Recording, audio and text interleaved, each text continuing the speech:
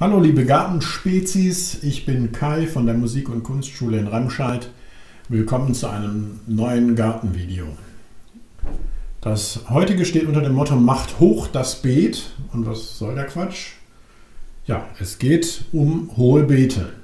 Also nicht um rote Beete, sondern um hohe Beete. Das sind relativ neue Erfindungen, äh, mit denen man, also was heißt die Erfindung ist alt, aber das ist so ein bisschen in Mode gekommen in den letzten Jahren. Vor allem dann sinnvoll, wenn man im Garten nicht so besonders gute Erde hat, so wie wir in der Musik- und Kunstschule. Da ist es ein bisschen lehmig und ein bisschen staubig und nicht so richtig ergiebig für Gemüse. Deswegen bauen wir uns da ein sogenanntes Hochbeet. Und zwar bauen wir das wahrscheinlich voraussichtlich hier hin.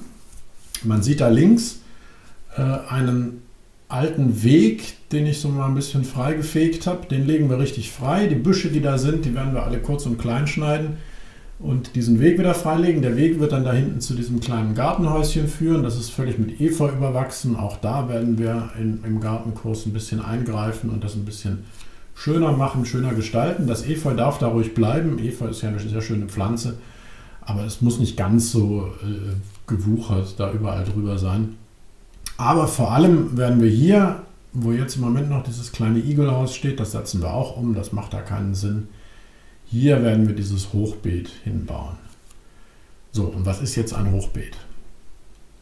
Also es ist erstmal, wonach es klingt. Das heißt, es ist ein Beet, das heißt ein Stück Erde, in das man Pflanzen setzen kann, das nicht auf Ebene des Erdbodens ist, sondern so ein bisschen drüber. In unserem Fall so 80, 90 Zentimeter drüber, also ein gutes Stück. Das sieht so aus. Man hat aus Holz außenrum einen Rahmen, der wie gesagt so 90 Zentimeter hoch ist und obendrauf setzt man dann die ganzen Pflanzen, der Gemüse, die Blumen, die Kräuter, was man auch immer haben möchte. Das setzt man dann dahin, lässt es da wachsen. Und das Geheimnis des Hochbeets ist, dass die Füllung nicht einfach, das ist nicht einfach nur voller Erde, das wäre ganz, das wäre ein bisschen billig, dann würde man einfach nur den Boden ein bisschen anheben, sondern diese Füllung ist in Schichten. Die unterste Schicht ist sehr grob, das ist oft so Reisig oder, oder Holzstücke, Äste, runtergefallene trockene Äste äh, kann man da reinsetzen. Der, der Sinn dieser untersten Schicht ist vor allem für Belüftung von unten zu sorgen und dafür zu sorgen, dass das Hochbeet gut entwässert wird. Das heißt, wenn es da von oben drauf regnet, soll das Wasser da drin nicht stehen bleiben. Das hatten wir schon in der Kompostfolge. Äh, wenn das Wasser steht, wenn das Wasser so, dann gibt das so eine Suppe, dann fängt das an zu modern, dann riecht das auch nicht gut. Ähm, das ist ein Teil, den ich in der Kompostfolge gar nicht erwähnt habe. Ähm, Kompost, ein Komposthaufen, eine Wurmkiste, das riecht nicht. Das darf nicht riechen. Wenn das riecht, wenn das anfängt modrig zu riechen, wenn das anfängt schimmlig zu riechen, wenn das anfängt eklig zu riechen, dann läuft da was falsch. Dann muss man eingreifen. Meistens ist es dann zu feucht. Wie gesagt, das Wichtigste ist, dass da kein Wasser drin stehen darf. Dann wird das Sumpf, dann entstehen diese ganzen Fäulnisprozesse und dann fängt das an zu stinken. Also dafür machen wir hier unten eine Schicht aus grobem Holzmaterial rein. Dann drüber kommt etwas feinerer Gartenabfälle. Da können wir zum Beispiel dann auch das, was wir an den Büschen wegschneiden, können wir da reingeben in das Hochbeet, nachdem wir es gebaut haben. Und drüber ist dann eine Schicht mit richtigem Kompost oder Gartenerde. Hochbeeterde kann man auch, also man kann spezielle Hochbeeterde auch kaufen. Äh, das, worin die Pflanzen dann wirklich ihre Wurzeln reinsetzen. Und das Geheimnis ist, dass das, was drunter ist, unter dieser Gartenerde, in die die Pflanzen wurzeln, ähm, diese Pflanzenreste, dieser Verschnitt vielleicht auch von den Büschen, das zersetzt sich nach und nach. Und dadurch, dass das von unten luftig ist, können da auch äh, Würmer, Tierchen können da reinkrabbeln und wieder wie beim Kompost das zersetzen. Und dadurch entsteht über die Jahre in diesen unteren Schichten immer von neuem nährstoffhaltige, gute Erde. Und das führt dazu, dass man so ein Hochbeet fünf, sechs Jahre lang problemlos äh, immer wieder bepflanzen kann, ohne dass man düngen muss, ohne dass man Erde nachkaufen muss. Man muss ein bisschen was von oben nachschütten, weil sich das unten natürlich, wenn, wenn die Würmer da knabbern, dann zersetzt sich das, dann wird das kompakter, dann sinkt das so ein bisschen ein.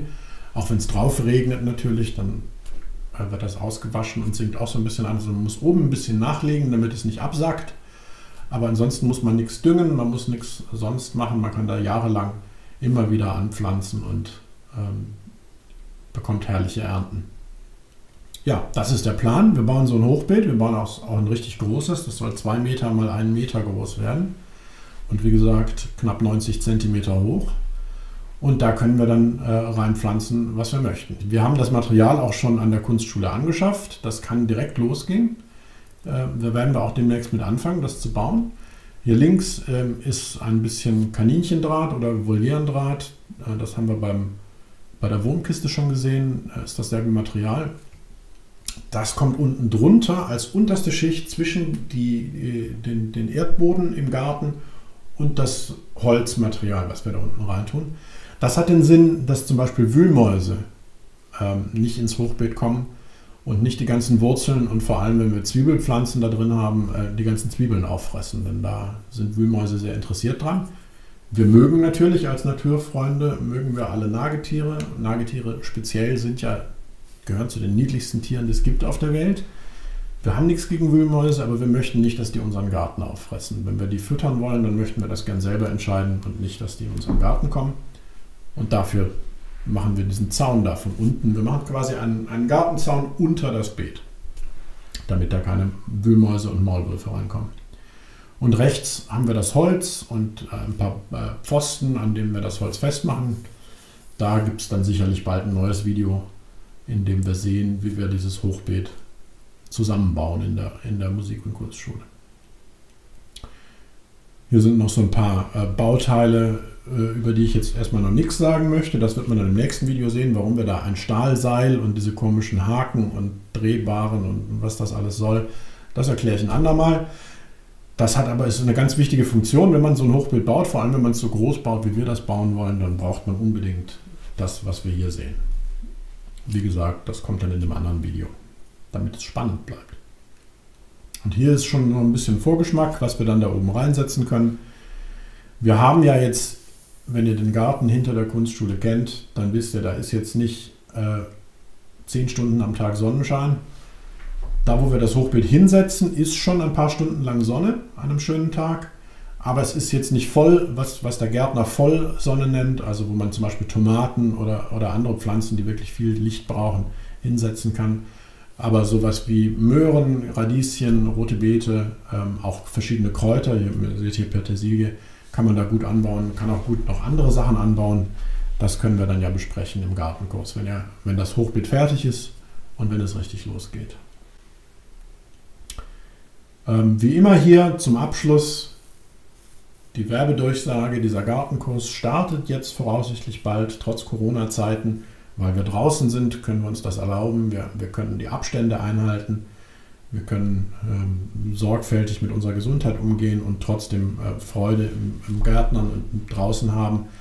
Ähm, wenn ihr Lust habt, äh, an diesem Gartenkurs teilzunehmen, ihr habt jetzt schon so ein bisschen in den letzten Videos auch gesehen, was, was wir vorhaben.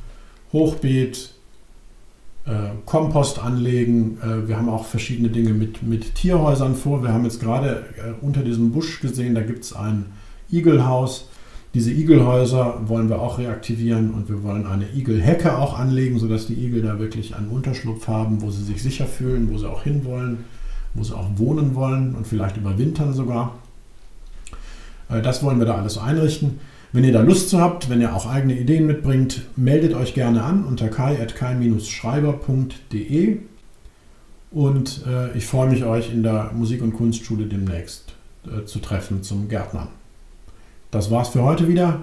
Bis zum nächsten Mal. Tschüss.